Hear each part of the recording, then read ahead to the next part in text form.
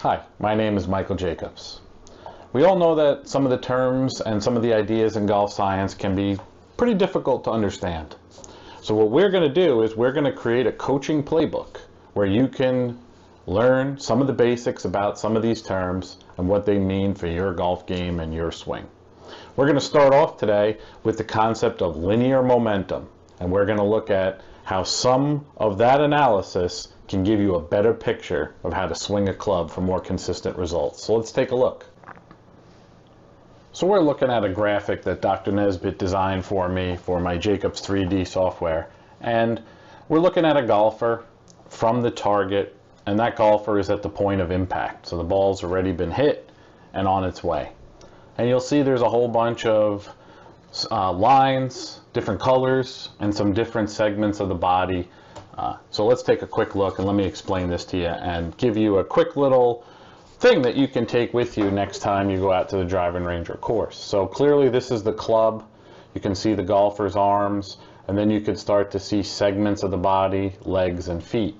So what we've done is we've taken, this is a professional golfer, a major winner, hitting a driver, and what we've done is we've created from the 3D motion capture a model of them where Dr. Nesbit has been able to put together a mechanical analysis so we can tell you exactly what's taken place inside the body both at inside the joints of the body and how the joints move together with the club to give you probably the most complete analysis that's ever been created. So we're super excited about that.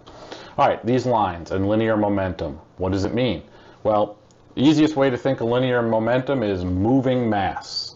So for example, the golf club has a certain amount of mass to it, and when we look at the linear momentum of it, it's the mass times the velocity. So it's the mass of the club times its velocity. It gives us an idea of the movement of the mass. Now, what's interesting when we look at the different parts of this golfer's body is we could look at the club, and then we have the right hand and the left hand. And what you'll notice is the arrow is denoting the magnitude and the direction of the linear momentum at that time.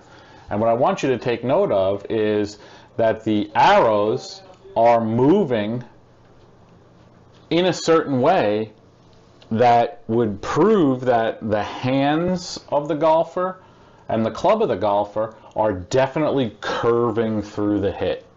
So when you look at the direction that these arrows are moving in, you could see that the moving mass is continuing to curve around. Now, why is this important? Well, to me, one of the biggest things I've seen golfers come uh, and think about when they're hitting a golf shot during a lesson is they've they've thought that they should try to swing down the line or try to steer the ball straight. Uh, one of my students calls it their safety swing, where they really try to uh, you know, steer a ball straight. But what you're going to notice is, is that the moving mass, the linear momentum of both hands and the club itself is definitely not down a so-called target line.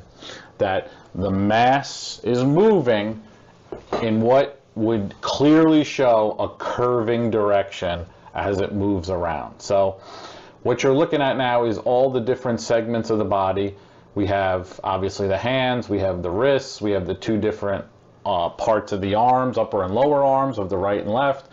We have a head, neck, chest, abdomen, pelvis, legs, and feet. And over the time, over the course of the next few years, we're going to show you exactly what's happening in all these different segments. But for a good start off point is just take note of where the arrows of each segment are going and the length of that arrow. And that's going to tell you where the linear momentum is at this point.